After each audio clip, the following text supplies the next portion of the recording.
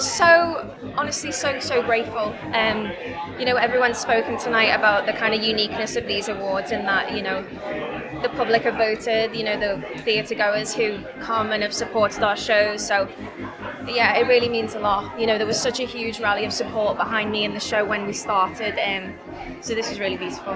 Yeah. The script honestly like when I, I, got sent the script in the first lockdown and i remember reading it and being completely blown away by it and i was just like but how how how do i do this? Why why is it in my inbox? Um so yeah it was the writing um, and you know the the subject in which the play speaks about i thought was hugely important um so yeah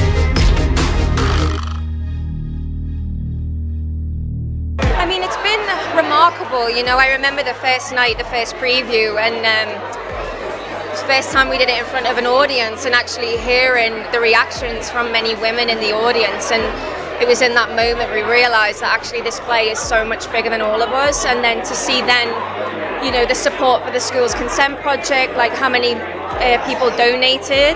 You know, people were going home and they were carrying on the conversation. Um, and it just seems like it's either comforted people or inspired them or gave them um, some sort of confidence within themselves to um, yeah to maybe face things that they hadn't before. Um, I mean it's, it's like the it's been the most incredible um, experience.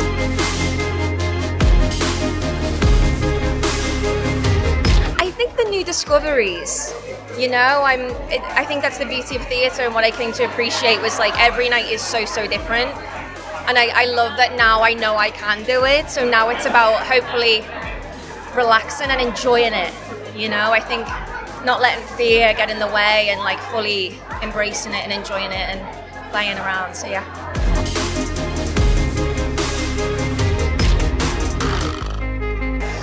I mean, I really want to do a musical. I've been saying this like 10 years. But um, what musical, I don't know, but I really, really, really want to do a musical. Um, and James Bierman, our producer, is the most exquisite producer, so I'm going to keep him very close by and maybe get him to conjure something up for me.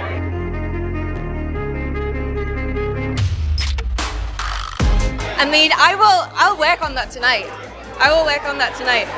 Uh, she's she's remarkable. I mean, she Rebecca is so incredible. I remember like you know when we first started working with the music and rehearsal and she's so unique um, and fearless you know like when you're around someone like that it makes you want to kind of step up and celebrate that within yourself so I feel incredibly lucky that she's part of the team.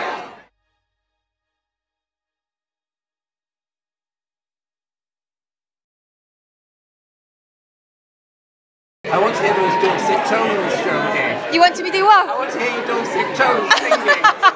Not right now. I'm going to save something.